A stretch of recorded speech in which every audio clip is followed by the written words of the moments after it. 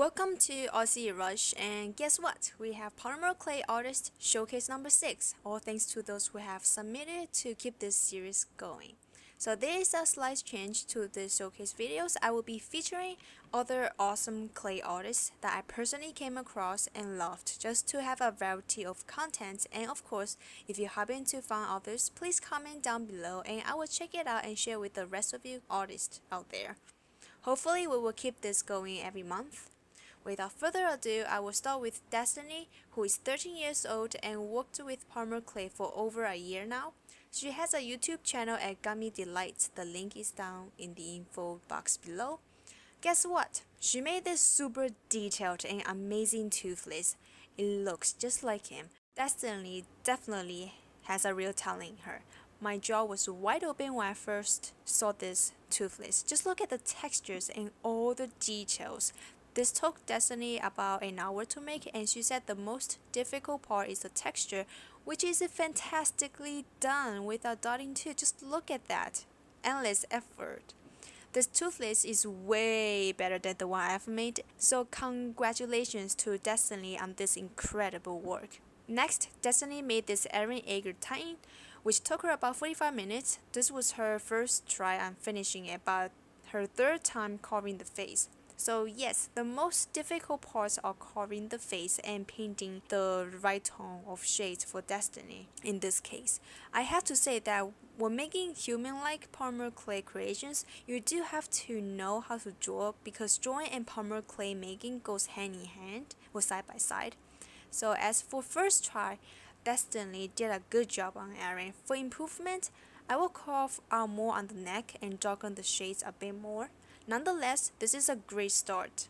And here is a baby stone dragon that took Destiny about 20 minutes. The dragon is about 1.5 inches long and this was also her first attempt. The hardest part in making this dragon is the claws because they are tiny and the clay is a bit too soft. If the clay is too soft, you can put it in the fridge for a few seconds just for it to become a bit firm. So this baby stone dragon is just a cutie and great craftsmanship. I really love this and I will love to see more from Destiny. Next we have Artur or Solar Power on YouTube and he also has a Facebook page dedicated to clay and art just for you guys, the community. So make sure to check it out, like the page and just interact. If you have watched previous showcase videos, you know that Artur has shared his purple alien from Almost Home Animation and a Totoro figurine. So here he has made these angry birds and the pig. So this blue bird took about an hour and a half, made out of plasticine and then painted over it. So same process for the red bird and the rest of the angry birds, but this red bird took about 2 hours I love the details and the craftsmanship of these characters. Then there is a pig, which took about an hour and here is a picture of all three with a context. I can see this as a claymation and waiting for them to move at any minute. So really really well done and just keep going. So we have Luke who made these fantastic creations of Maleficent and Aurora from the Disney movie Maleficent. I'm sure most of you guys have watched, I hope. Yeah, so these two are well crafted and I love love the cuteness of Aurora. Maleficent is also spot on based on my tutorial I must say. Luke did a fabulous job on making it. These two are just so cute.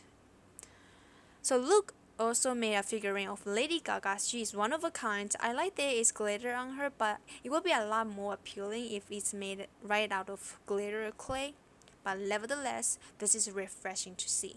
Here we have another returning artist, Mei, War Souls E Anime on DeviantArt. The Sylveon is her second try, but there is the first try on the lower right hand corner where you can check it out on showcase number 2 video.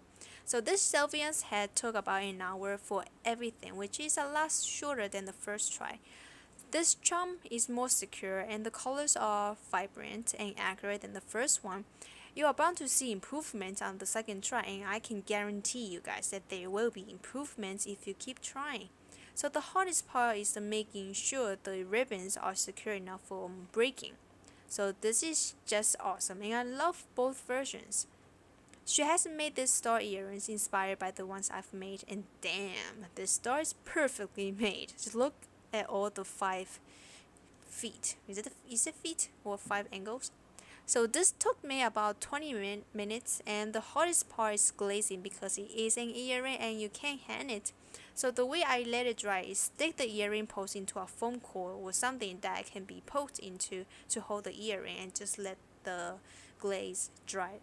Here we have Lian at a cute cafe on YouTube who also has shared with us before in the last showcase video number 5 so make sure to watch that. Here she made this really adorable cookie mural that took her about 30 minutes and the hardest part for her is the mouth which turned out really well actually. And this cookie looks edible and I also love the colorful M&Ms. Next, Lian made this a somewhat chibi BMO from Adventure Time. It's really cute and this took her about 45 to 60 minutes because of the small details on the buttons, or just the buttons, they're really small. So the whole work clearly shows and it turned out really well and just freaking adorable. If the small details are too difficult to make using polymer clay, you can paint those details on with acrylic paint instead after you bake the charm, of course. So sometimes integrating polymer clay and paint are good and you make the creation a lot more appealing and neat.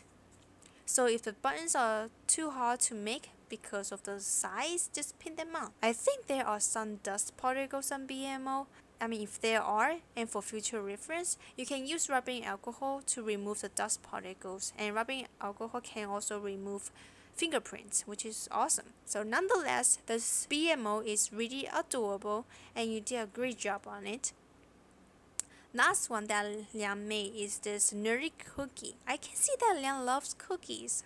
Every time I see a cookie charm, I just want to eat them because they look so realistic.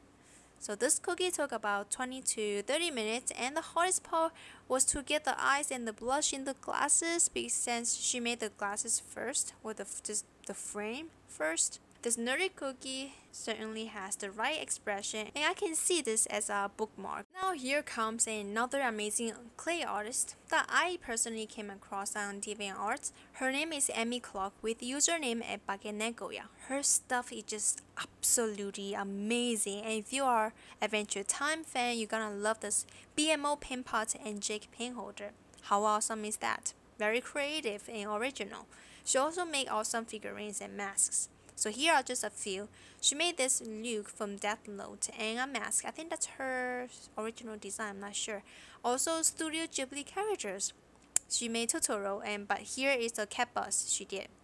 I mean how awesome is that? Just it's out of this world. So I highly recommend you guys take a look at her creations. She also has an Etsy shop, so take a look. Her work is inspirational among many other artists. So there are still many more artists that I want to feature in these showcase videos and if you have someone in mind, please let me know in the comment below for future showcase videos.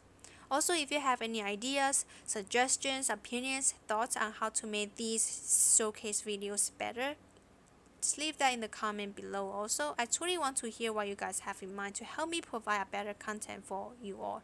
Oh, and don't forget to submit photos of your own creations to my email at artzierush at gmail.com for the upcoming showcase videos. Hopefully we can have a showcase video for every month.